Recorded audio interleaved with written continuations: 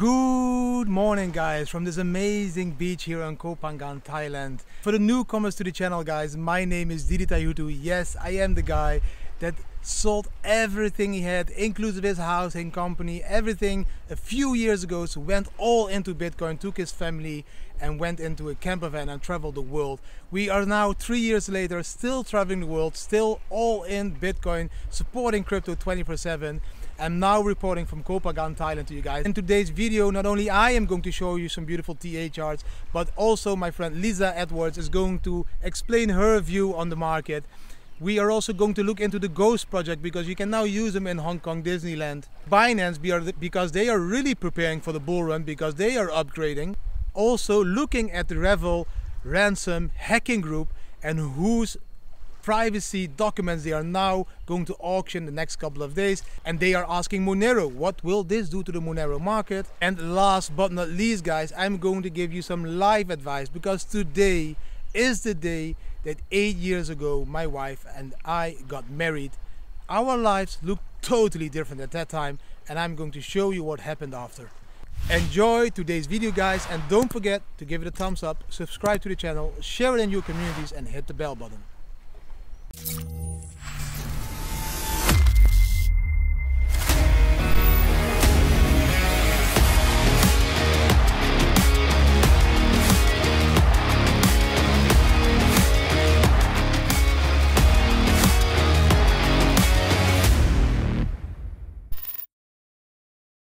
Let's take a jump into my office.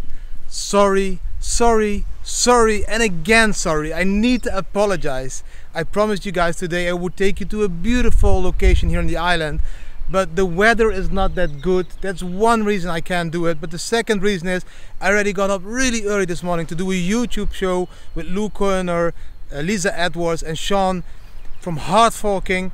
So I already have I already did a one hour YouTube show which I'm going to include a few parts of in this video and again the weather is looking stormy so I think that going to another place now on the other side of the island um, maybe wouldn't be the best idea. I will visit another beautiful amazing place tomorrow guys I promise. Um, and I really pinky promise how do you say this? I really promise I will take you to another amazing place on Koh Phangan tomorrow. I'm still figuring out what place jungle temple, like culture, maybe even something with food or just another amazing beach. Let me know where you want me to go tomorrow and I will do this again like I did last week with the waterfall.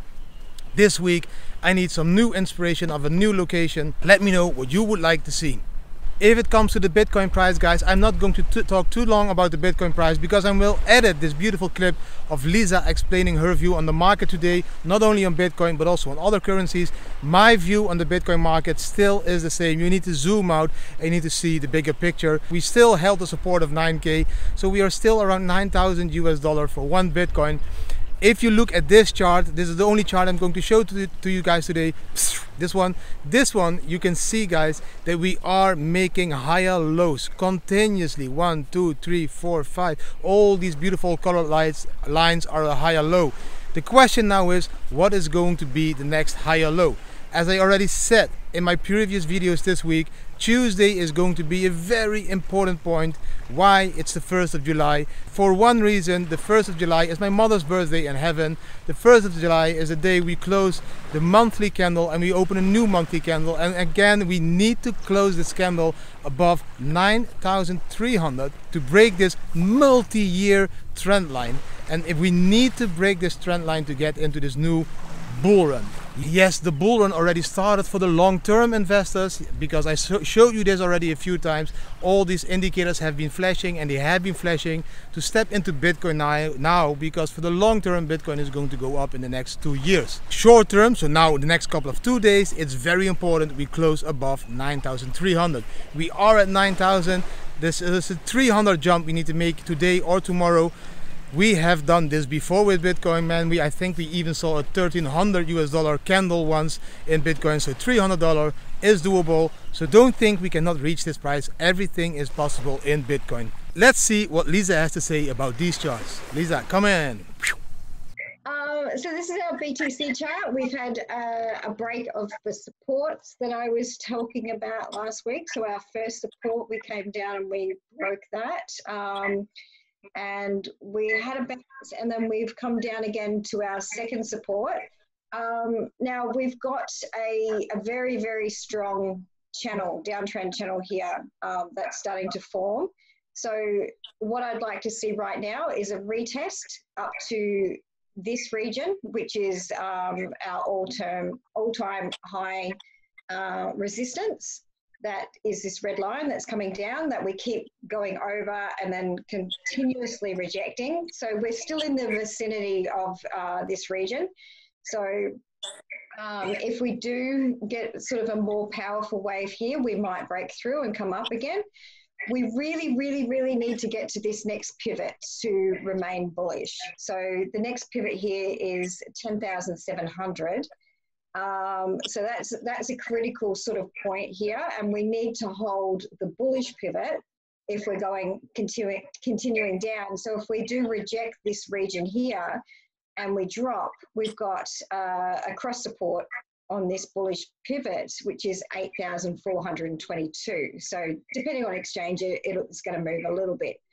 Um, yeah, so BTC right now is in this critical range where we're, we're kind of, we're still holding bullish.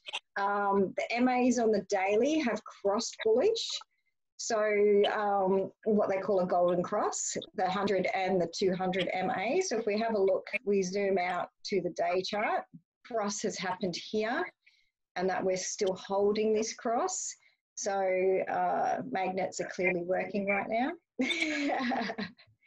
um, yeah, so that's that's BTC. So this is this is forming um, quite a strong sort of looking flag at this point. We have entered into this. So how how a flag, a bull flag works is if we enter in, we leave up so um, we've got this point here that we would measure to see uh, distance as to how far we are going to go up. So if we put a wave here, so that's our pole, uh, potentially we can reach that pivot. So on our exit. So uh, we're looking good. So we're potential, we've got a 11,200 sort of range, which breaks that pivot which will mean that we are going to go to 21,000 at some point. So that's um, it's a really critical pivot, sort of EW Elliott wave wise. Um, and yeah, so the rest of and another thing that makes me think that we're still going up is the whole entire crypto Twitter has turned bear. So, and when that happens, we go up always. On that note, guys, Dee Dee, Lou, thoughts on uh, BTC right now? You know, uh, I, I tend to be uh, a, longer thinker. I, I think it's uh, super interesting, Lisa, to, to watch you uh, do the charts. I actually started the uh, my career first seven years as an equity analyst on on Wall Street. Um, you know, I've been a, a you know, long time bull on uh, BTC as well. And what I'm most excited about, uh, you know, and, and and I think of it as uh, digital gold. Um, and what I'm most excited about at the moment is stable coins and the rapid growth of, of stable coins. I think we're going to start seeing central uh, bank digital coins as well, uh, potentially, you know, starting with the one in China. Um, and I'm really excited that that's going to be a major on ramp. Uh, for much of the world to come into crypto, and then I think you know once you start dealing with uh, uh, stable coins, uh, the next natural thing for those people to start thinking about buying is Bitcoin. So I'm really increasingly bullish long term about Bitcoin. Any, any thoughts on where BTC is at for you? How you see no, it? I, I am seeing exactly the same. And um, like Lou is saying, I always try to uh, zoom out into the charts. So I look to the daily, to the monthly, to the weekly charts. And, and all these indicators I've been analyzing now, it is well indicator or it is um, you know, it's like the hash ribbon indicator. All of these have started flashing the last two weeks, and you know these indicators have proven in the last uh, couple of years and bull runs. And every time that these indicators start to flash, we will see a bull run. People just need to understand that a bull run doesn't mean that we will go up to like 100,000 in in two days or in a week or in a month. You know, it will take it will take another two years maybe in total to to reach this new all-time high.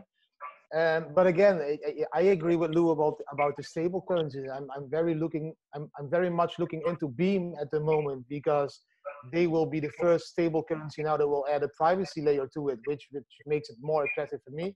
Because else, I still have this you know fiat feeling to the stable currencies, too much bank tied to bank and all that. So I need this privacy aspect. So I'm, I'm looking into Beam at the moment, but they are creating. Ethereum chart. So we are still, we've got a bounce. We'll probably come up to uh, this. This is a channel resistance. So we've broken this channel. We're now in uh, a slight downtrend channel. Uh, if we were to add some lines here, we've got this downtrend channel. We should test here, which is around 238 mark, and then we'll come down again to around 207. So um, like the, if that's providing so BTC's got two patterns right now where we've got uh, an ABC pattern, which potentially we could break through that um, all-time high resistance. So if that happens, um, Ethereum will also break through this resistance here and continue higher at this point.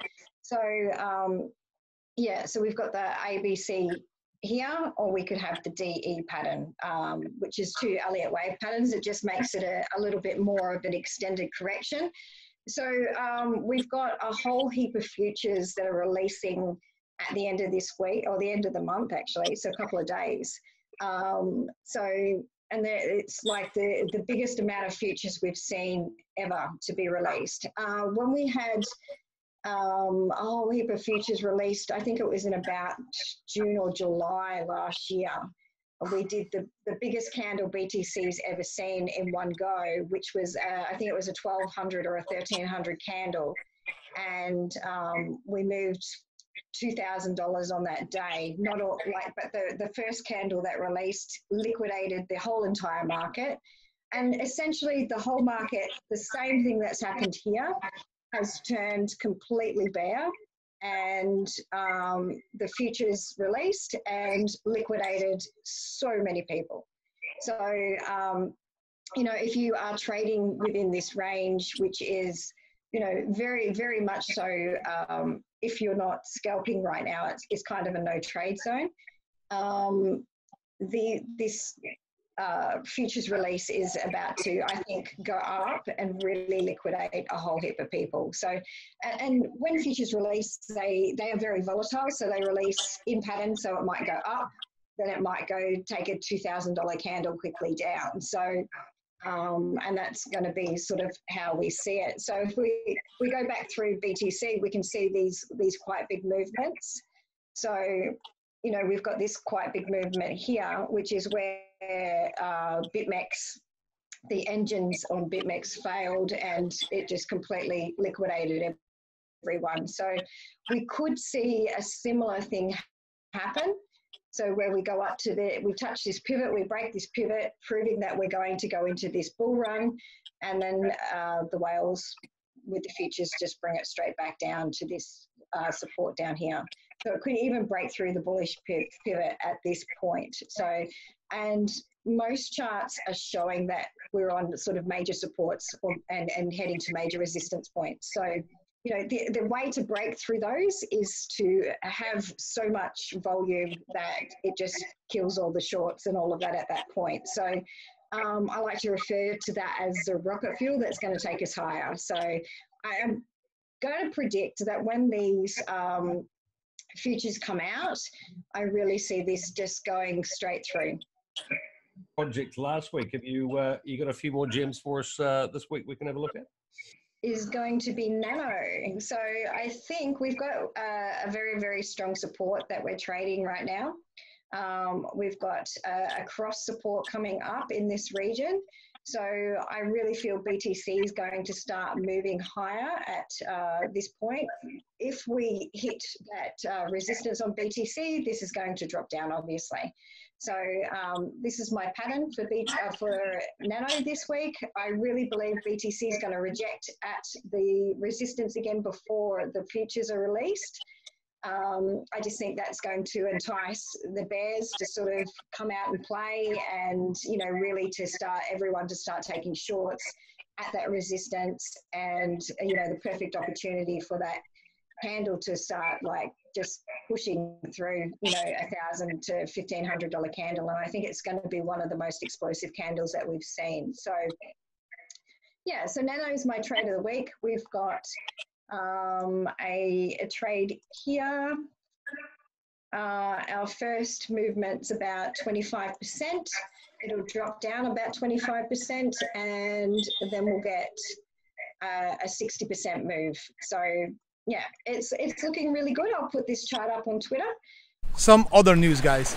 Did you read the ghost coin of john mcafee? I know there is a lot of discussion about this currency. Some love it some hate it. But john mcafee just announced that you can now use the ghost coin in many vending machines all over hong kong even in hong kong disney world. You can spend your ghost coins now. So john send me some ghost coins. Fly me and my family to hong kong disneyland because we need some pleasure after this lockdown here in thailand koh phangan. We need some entertainment as a family so please support us send some ghost coins to us so we can fly to Hong Kong spend the ghost coins there in these vending machines and show all the world that ghost coin is not just a currency for privacy but that is also a currency that you are going to use to push mass adoption in cryptocurrency usage Binance guys if we talk about Binance, use my referral link, it's down below. If we talk about Binance, they are upgrading their software. They just did the biggest upgrade in the last two years. This biggest upgrade makes them 10 times faster. Why do they want to be 10 times faster? Because they know that the bull run is coming. The last bull run in 2017 crashed almost all exchanges. There were too many people buying and selling bitcoins and all the other cryptocurrencies and this made all these exchanges like overburn and crash and then nobody could sell or buy because they had all these break uh, fall downs now binance upgraded their software so the next bull run they have 10 times more capacity 10 times more speed so they can handle a 10 times bigger order book which they think will be needed in this next bull run. I fully agree with cz over there. We are going to need 10 times more speed for the next bull run because it's going to be 10 times as big as the last one. Some other cool news guys is that this REvil ransom hacker group um, has just announced they're going to auction some more celebrity stuff. I think they are now targeting Nicki Minaj, Mariah Carey, LeBron James, Bad Boy Recordings, MTV and Universal Studios guys. So they hacked all these data from these people and they are going to auction this data. They already leaked a lot of information about Lady Gaga earlier this year and they are going to auction a lot of privacy stuff of Madonna I think on the 1st of July, again the 1st of July. I think the starting bid price on Madonna stuff is like 1 million or 700,000 US dollar and they want to be paid in Monero. They used to be paid in Bitcoin. They shifted now to Monero because they think it's less traceable than Bitcoin. It's the REvil Ransom Auction Hacker Group shifted their focus to Monero and they want to be paid in Monero. My question now is could this influence the Monero price? Because if you zoom out and you see this picture, so they are asking like 1 million here, 1 million there, 10 million there, 1 million there, and they all need to be paid in Monero. So what does this mean? This means so if they feel threatened and they don't want to lose their privacy on all the data they that was hacked, they need to pay in Monero. So if all these millions need to be, be paid in Monero, they need to buy Monero. And if millions are going to be exchanged from US dollar into Monero, normally the price should rise because the supply stays the same and the demand for Monero is growing. So I will keep an eye on this whole hacking drama because if these people are going to, if you will see these huge transactions now going into Monero and Monero's going into exchanges, then probably these are the wallets that are going to be used to pay the REvil ransom group. Just a thought, just out the top of my head, a thought, maybe we should take a look at it. A little bit closer. And guys, yesterday I promised to give away two t-shirts on the end of this day, at the end of Monday. So it will take till the end of today that I can announce the winner because yesterday's video is being liked a lot of times again. I saw many thumbs up, I saw many shares and I saw many comments. We did break the 300 resistance I asked for. I asked you guys to give 300 thumbs up. We received 300 thumbs up. Tomorrow I will announce those winners that I'm giving away two t-shirts to you guys. I am going to walk to my favorite part of the beach guys, my happy mushrooms and my palm trees. I don't know why I love this area so much. I think it's the energy that is beautiful, the views are beautiful, and why do I want to walk through this beautiful, magical part of the beach? Because this reminds me to this amazing life we as a family have been living now the last couple of years. And it also reminds me to eight years ago when I married my wife.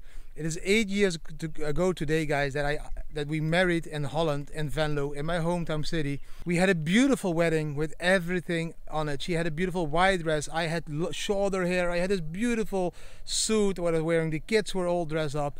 We had limousines. We had uh, this beautiful uh, English old timer that's brought us to all the locations to take pictures to the party location.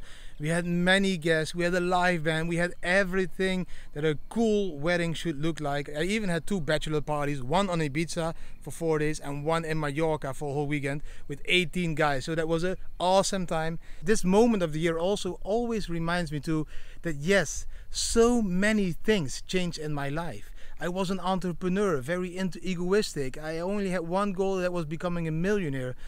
I, I lived this strange life where my ego was the most important thing, where I always want to show somebody else than I really was. It reminds me to this time that I need to invite so many people to my wedding and give and spend so much money on a wedding while I could also have been very happy with celebrating this wedding on a just simple way on a beautiful beach. So I changed tremendously and not only I, my whole family changed tremendously in these last years. You know, the kids grew up. They became bigger and bigger and bigger we are now living this decentralized digital Bitcoin nomad life.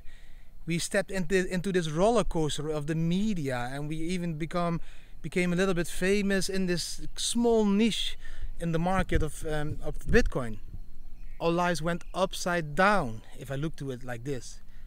Everything, every single thing changed in my life. There's only one thing, only one thing that didn't change during all these times and that thing is exactly what life is about. The thing that didn't change is my love for Jolie, Juna, Jessa, and my wife Romaine. I still love them to the moon and back. Every single minute of the day, I appreciate having them around me. This is what gives me all the energy, all the power to do all the stuff I want to do. It's my family. That's why we are called the Bitcoin family because the family part makes it different to all the other people in this space. We as a family took this insane roller coaster ride and our family grew stronger and stronger. And this is what I'm most thankful for at the moment.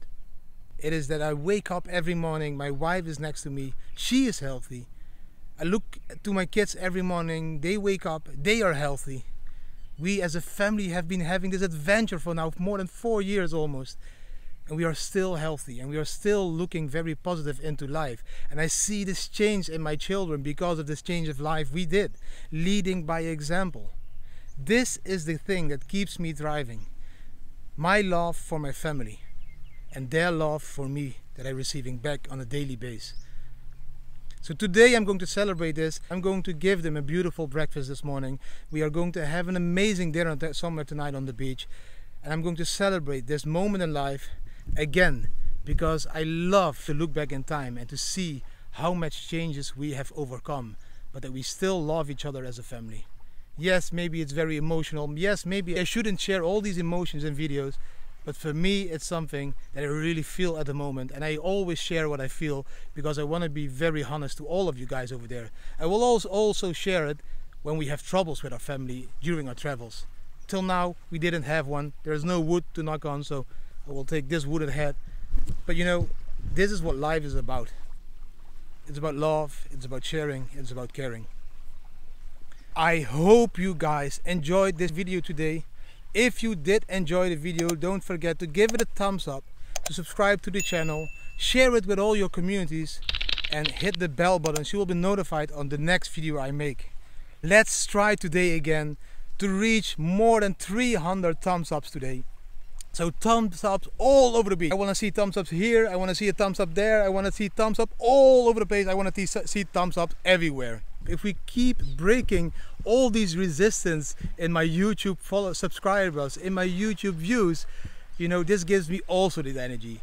Of course, my family is the biggest energy, but you guys there, leaving me comments, giving me thumbs up, telling me how much you appreciate me making these videos gives me a tremendous amount of energy guys and makes me want to give you more back and back and back and that is exactly what I'm going to do. As soon as we start to monetize our channel and we are able to withdraw our monetization from YouTube I am going to share this also. I'm going to show you that what I say I do.